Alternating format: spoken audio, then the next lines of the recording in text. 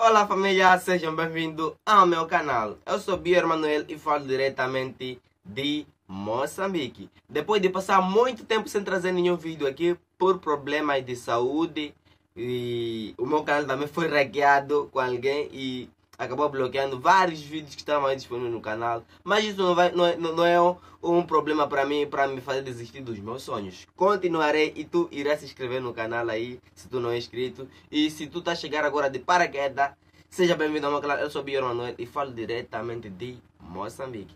Como viram o título do vídeo, como cuidar de uma mãe grávida. Uau! Esse é um tema muito, muito espetacular. É um tema que eu também estava pensando quando estava de cama.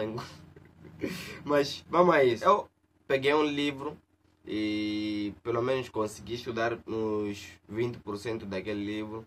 E é muita coisa, é muita coisa. Porque são duas etapas: cuidar da mãe uh, operacional e cuidar da mãe emocional. Como? Operacional como? Mano, não é você só cuidar do nenenzinho aí porque estás à espera dele. Cuide também da mãe. Operacional como? Cuidar da casa, lavar louça, não deixar a mãe fazer coisas pesadas. Cá em Moçambique é muito diferente. Começam a falar, não, tens que trabalhar muito para não ficar cansado, mas nada, isso, isso não é bom. Porque tu irás acabar prejudicando no momento que ela está grávida. O corpo dela é tão frágil. Ela fica muito fraca, não fica muito forte.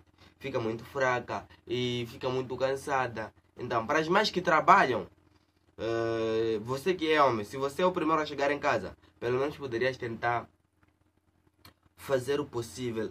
Arrumar tudo, ajudar ela na cozinha, ajudar ela em tudo. Quando ela chega lá, uh, a parte emocional também irá funcionar. Porque a maioria dos homens, uh, em vez de cuidar da, do, do, da mãe, elas cuidam do bebê. Como? Elas se apaixonam naquele momento, ficam mesmo emocionadas em receber o bebê em relação à mãe. O tratamento que recebia a mãe não vai receber durante a fase de gravidez. Para alguns homens, não para todos, né? Então, uh, operacional você tem que ajudar em tudo. Ir ao mercado, cozinhar para ela, lavar roupa. Mano, quando ela chega em casa, ela fica muito dope tentar dispensar os 50% das coisas que ela iria fazer. Porque quando ela sai do trabalho, eh, ela fica só pensa chegar em casa, lavar, ai, cozinhar. É muita coisa que lhe deixa muito cansada antes de chegar em casa. Então, se, se, se, se, se você quer ser o homem preferido dela, mano, tenta fazer estas coisas. Então, vamos na fase 2, que é emocional. Uau!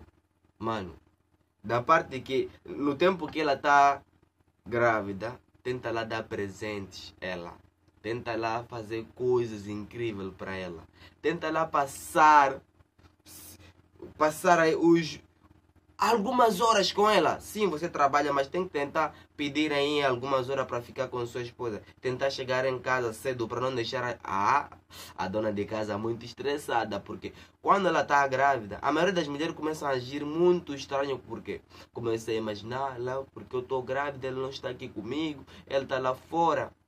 Então, tentem lá evitar essas coisas para deixarem a vossa esposa muito dope. Quando você, quando você cuida da mãe, também consegue cuidar do bebê. Quando você trata bem a mãe, consegue cuidar do bebê. Por quê? Porque o bebê está bem cuidado dentro do ventre, bem cuidado. Então, não precisa você ficar aí uh, andulando fora, tal, porque tua mulher está tá grávida, mano.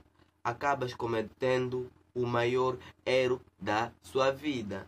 Então, se você gostou do vídeo, hoje não vou falar muita coisa porque é o nosso primeiro vídeo, mas até o próximo vídeo que eu vou falar muita coisa acerca da gravidez. Mas pelo menos deixei aqui alguns 5% das coisas que você pode fazer para sua mulher em casa não se sentir mal, não se sentir sozinha.